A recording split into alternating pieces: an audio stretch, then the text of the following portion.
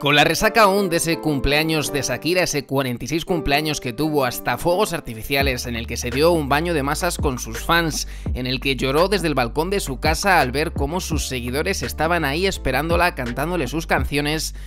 queriendo rendirle tributo en un día especial para ella, eh, Gerard Piqué vive la cara más opuesta tan solo unos días después de que alcanzase los, los 36 años. Y es que esos 10 años de diferencia entre Gerard Piqué y Shakira relatan bastante bien la diferencia que viven uno y otro. Y es que los dos padres de Milán y Sasa de verdad que están en un momento especialmente separado, opuesto y enfrentado, con un Gerard Piqué que pasó su cumpleaños en la más absoluta soledad sin la presencia de sus hijos y como único apoyo Clara Chia, y por el contrario una Shakira que pese a no encontrarse en su país de nacimiento se daba un auténtico baño de masas con muy buenos amigos, con personajes como Alejandro Sanz, incluso que se acordaban de ella en ese cumpleaños y que se desplazaban hasta su casa, e incluso con un, dicen, el que podría ser su nuevo novio, el instructor de surf, que, bueno, lleva bastante tiempo dando que hablar en España, aunque ese ya es otro asunto. Sin embargo, Gerard Piqué le hemos podido ver en el día de hoy dejando a su hijo Milan, dejando a su hijo Sasa y protagonizando quizás el momento más surrealista y más humillante en la carrera del que fuese futbolista del Fútbol Club Barcelona. ¿Por qué decimos esto? porque Gerard Piqué ha sido humillado delante de sus hijos y ha tenido una reacción, podríamos decir, casi infantil. ¿Qué ha sucedido exactamente con Gerard Piqué? Pues nada, que ha acudido como tantas veces a casa de Shakira, a la que ha sido su casa hasta hace no tanto, a escasos metros viven sus padres, es una zona que conoce, es una zona que ha frecuentado durante la última década sin parar y ahora parece que es territorio hostil para el que fuese defensa del Barça. ¿Qué ha sucedido exactamente? Pues como decimos, la prensa estaba esperando a Gerard Piqué, Gerard Piqué estaba dejando a sus hijos, Milan, que iba con una camiseta en la que ponía su nombre de béisbol, no podía creer lo que estaba sucediendo. Nunca ha habido tanta prensa, podríamos decir, rodeando a Piqué, y mira que ha sido un futbolista y un deportista muy laureado y con una gran popularidad pero es que su coche estaba literalmente rodeado cuando dejaba a su hijo en casa y Gerard Piqué no sabía qué hacer viendo las tremendas humillaciones que la prensa le estaba haciendo ante la cara y ante la atenta mirada de sus hijos. Preguntas sobre Clara Chía, preguntas sobre Shakira, preguntas sobre esa canción que todavía sigue dando tanto que hablar.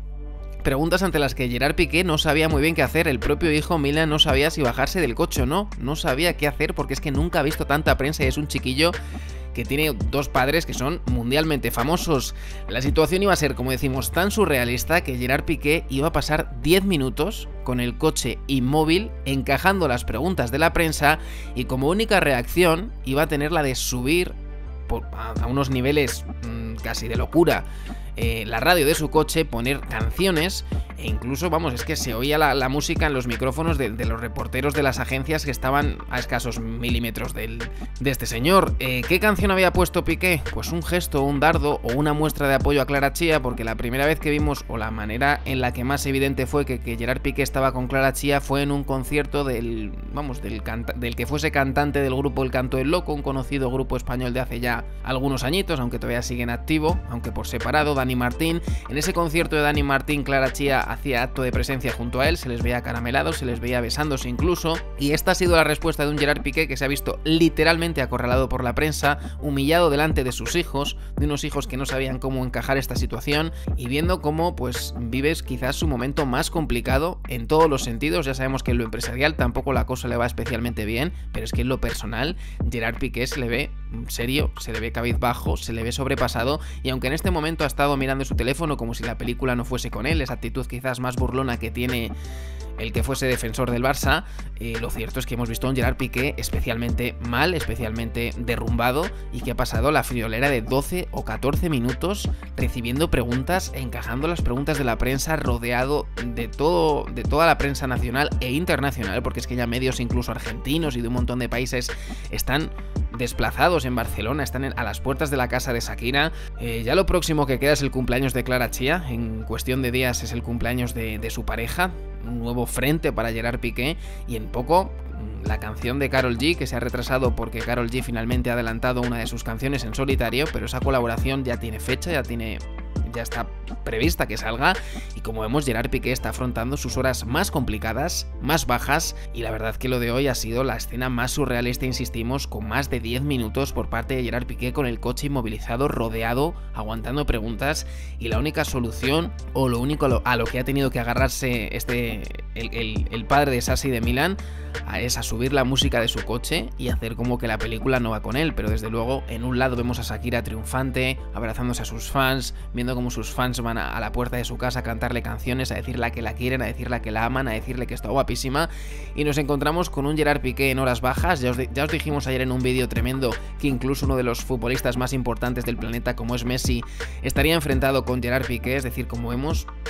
la noche y el día entre Shakira y Piqué, una Shakira a la que los artistas la felicitan, como en el, caso de Alejandro Sanz, de Carlos Vives, y por el contrario vemos a un Gerard Piqué al que casi nadie le felicitó, nadie quiso meterse en, en el berenjenal de felicitar al que fuese su compañero en el Barcelona, y encima descubrimos que uno de los futbolistas más importantes de la historia del fútbol, como Messi, estaría enfrentado con Piqué a raíz de, bueno, de, un, incidente que tuvieron durante su etapa en el Barça, a través del cual Messi llamó Judas al irse del Barcelona al, al sentirse traicionado por, por Gerard Piqué, y fruto quizás de ese enfrentamiento vemos que Antonella eh, felicitaba a Shakira nada más salir su canción, así que como vemos, las horas más bajas de Gerard Piqué parece que son las que estás viviendo hoy en día, y por el contrario vemos una Shakira que ha tenido un renacer personal y artístico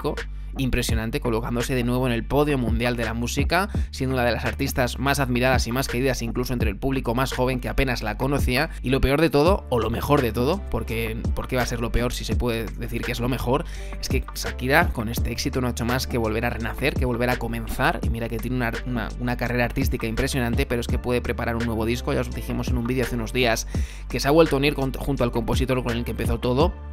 junto al compositor con el que más éxitos tiene a sus espaldas, con el que ha hecho algunas de sus mejores canciones, y esta publicación en Instagram, con la que respondía a la foto de Piqué y Clara Chia, eh, pasó quizás desapercibida, pero os, avisamos de que va a dar muchísimo que hablar porque Shakira sigue haciendo música, porque Shakira se propone volver a sus orígenes, volver a sus inicios, y eso sin duda es la mejor noticia porque sabemos que esos inicios de Shakira fueron tremendos y que hoy en día, con todo lo que hay, juntándose a productores como Bizarrap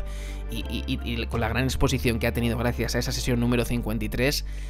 los tormentos de Piqué podrían no haber hecho más que empezar porque Shakira está dispuesta a seguir cantando en primera persona, a seguir brotando todo eso que lleva dentro, toda esa rabia, todo ese sufrimiento fruto de la infidelidad por parte de Piqué junto a Clara Chia, fruto de, de ese rechazo incluso cuando Shakira contrató un detective y le dijo a Piqué, oye, he descubierto esto, pero me da igual, vamos a solucionarlo, y Piqué le dijo que no. Shakira se sintió doblemente apuñalada o, corneada en este caso, y ahora nos encontramos con que Shakira le dijo que no a Piqué cuando a los meses trató de volver con él, y vemos como Shakira sube como la espuma y Piqué baja hasta, hasta los infiernos, por decirlo de alguna manera. Tremenda las imágenes, tremenda como los hijos han tenido que ver cómo Piqué está completamente hundido, completamente devastado y sin saber qué hacer mientras que vemos a Shakira radiante, feliz, joven y con muchísimas ganas de hacer música, que al fin y al cabo eso es lo más importante.